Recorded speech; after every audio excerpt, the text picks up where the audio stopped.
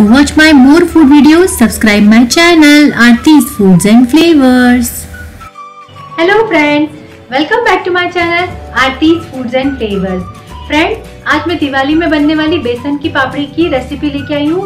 बहुत ज़्यादा क्रिस्पी और बहुत ही ज़्यादा यम्मी और स्वादिष्ट लगती है। बच्चों को भी बहुत पसंद आती है। और मैंने आज बच्चों के लिए स्पेशली पिज़्ज़ा मसाला पापड़ी बनाई है जो बहुत बहुत टेस्टी लगती है।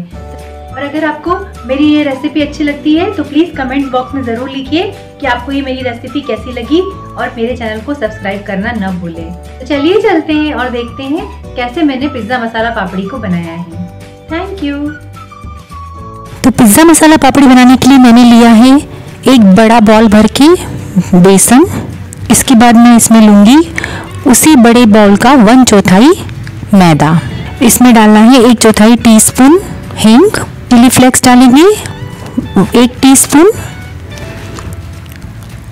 और उसके बाद मैं डालूँगी इसमें पिज़्ज़ा मसाला वन टीस्पून और oregano masala one teaspoon black pepper half teaspoon जिसे काली मिर्च पाउडर कहते हैं, एक चुटकी सोडा भी डालेंगे इसमें और दो टीस्पून नमक नमक आप अपने स्वाद के अनुसार डाल सकते हैं। सबको अच्छी तरह से मिला लेना है और इसमें अब डालना है तेल थोड़ा सा गुनगुना तेल, एक स्मॉल बाउल भर के एकदम से तेल को नहीं मिलाना है, पहले थोड़ा तेल डालना है और उसके बाद अच्छे से हाथ से उसको मिलाते हुए मिक्स करना है और उसके बाद फिर से हम हाफ़ बॉल तेल डाल देंगे। थोड़ा सा तेल गर्म होना चाहिए और अच्छे से इसको मिक्स करते जाएँगे। हमें इतना तेल चाहिए कि जब हम मुट्ठी बनाएँ आटे की तो वो बनने लगे। ये देखिए इस तरह से। अब इसको थोड़े गुनगुने पानी से गूंद लेना है। पानी भी धीरे धीरे करके डालेंगे, क्योंकि बेसन ज़्यादा पानी नहीं सोखता है। इसलिए धीरे धीरे करके पानी डालेंगे और एकदम जो पूरी के आटे की कंसिस्टेंसी रहती है, उससे थोड़ा सॉफ्ट और जो चपाती के आटे की कंसिस्टेंसी रहती है, उससे थोड़ा सा हार्ड इस कंसिस्टेंसी का हमें आटा गूंदना है। ये देखिए इस तरह से हो गया है। 45 मिनट तक इसको हम ढक के रख देंगे। 45 मिनट हो गए हैं। अब इसको निकाल के एक बार और अच्छी तरह से हाथों से थोड़ा सॉफ्ट कर लेंगे। और अब इसमें लेंगे थोड़ा सा पार्ट जो हमारे लेमन नींबू के आकार का साइज़ रहता है, उससे थोड़ा छोटा लेंगे और इसको हमें अब गोल गोल बेलना है। आराम से इसको बेलन की सहायता से बेलेंगे।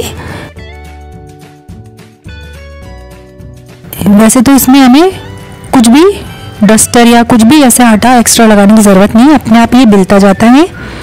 लेकिन अगर आपको थोड़ा बड़ा साइज़ चाहिए तो आप थोड़ा सा बेसन का आटा लगा सकते हैं।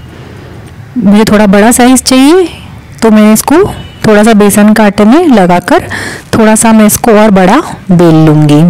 शेप पे मत जाइए, आप शेप कुछ भी हो सकता है इसका। ज़रूरी नहीं एकदम राउंड शेप बने। ऐसे भी ये पापड़ी बहुत अच्छी लगती है। इसी तरह से मैं दूसरी पापड़ी भी बना लूँगी। आराम से इसको बेलना है और ये आराम से हमें बेलते बनती है। थोड़ा सा बेसन लगा लूँगी और जितना साइज़ जितना बड़ा आपको चाहिए, छोटा, बड़ा, जो भी आपको पसंद हो, उस हिसाब से आप इसको बेल सकते हैं, उतना बड़ा।